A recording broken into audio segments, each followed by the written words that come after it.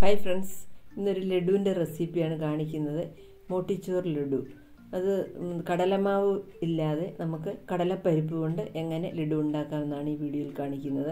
അതിനുവേണ്ടി ഞാനിവിടെ അര കിലോ കടലപ്പരിപ്പ് എടുത്തിട്ടുണ്ട്. അത് നന്നായിട്ട് മൂന്നാൽ തവണ കഴുകി വെള്ളം ഒഴിച്ച് നാല് മണിക്കൂർ നേരം കുതിരാനായിട്ട് വെച്ചിട്ടുണ്ട്. നാല് മണിക്കൂർ കഴിഞ്ഞു. നമുക്കിനി ആ കടലപ്പരിപ്പ് ഒന്നെടുത്ത് അതൊന്ന് അരച്ചെടുക്കണം.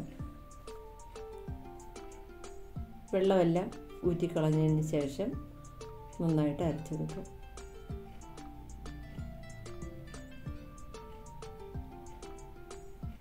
ഞാനിത് മൂന്ന് ട്രിപ്പായിട്ടാണ് അരച്ചെടുത്തത്.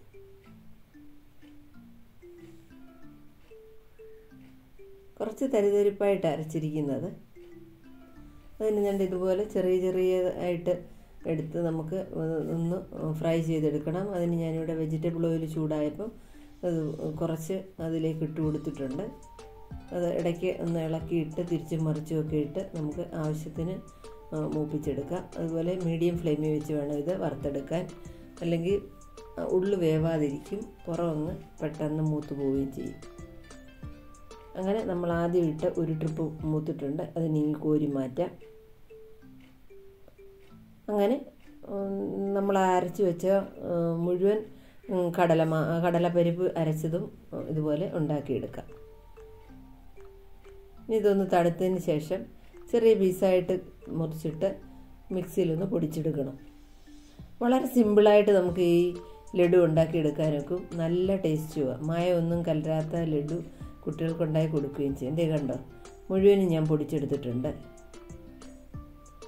ഇനി ഒരു ഉരുളി വെച്ച് കൊടുത്തിട്ടുണ്ട്. അതിലേക്ക് അര കിലോ പഞ്ചസാര ഇട്ട് കൊടുക്കാം.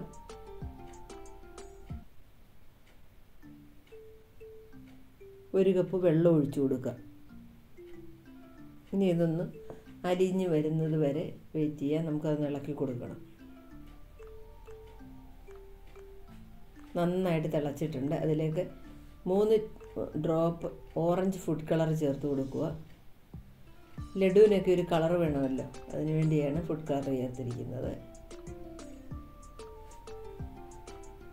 ഇനി അതിലേക്ക് ഏലക്കായും പഞ്ചസാരയും കൂടെ പൊടിച്ചത് ഒരു ടീസ്പൂൺ ചേർത്ത് കൊടുത്തിട്ടുണ്ട്. ഒരു ടേബിൾ സ്പൂൺ നെയ്യും ചേർത്ത് കൊടുത്തിട്ടുണ്ട്. അതുപോലെ നന്നായിട്ട് തിളച്ച് വരുന്ന സമയത്ത് വേണം ആ പൊടിച്ച് വെച്ചിരുന്നത് കുറേശ്ശെ കുറേശ്ശെ അങ്ങോട്ട് ഇട്ട് കൊടുക്കണം. ഇടുന്ന സമയത്ത് ഇളക്കി കൊടുത്തുകൊണ്ടിരിക്കണം. പിന്നെ ക്രഷ് ചെയ്ത് കുറച്ച് അണ്ടിപ്പരിപ്പും ചേർത്തിട്ടുണ്ട്. കുറച്ച് കളർ കുറവായിട്ട് തോന്നി. ഞാൻ വീണ്ടും മൂന്ന് ഡ്രോപ്പ് ഫുഡ് കളറും കൂടെ ചേർത്തിട്ടുണ്ട്. എഡിബിൾ ഫുഡ് കളറാണ് കേട്ടോ ഇത്. നന്നായിട്ടൊന്ന് മിക്സ് ചെയ്തെടുക്കാം. ഞാൻ നേരത്തെ നിരവധി വെറൈറ്റികളായിട്ടുള്ള ലഡുവൊക്കെ അപ്ലോഡ് ചെയ്തിട്ടുണ്ട്. ലഡു എന്നൊരു പ്ലേലിസ്റ്റ് തന്നെ ചാനലിലുണ്ട് അതിന്റെ ലിങ്ക് ഞാൻ ഡിസ്ക്രിപ്ഷൻ ബോക്സിൽ കൊടുക്കാം.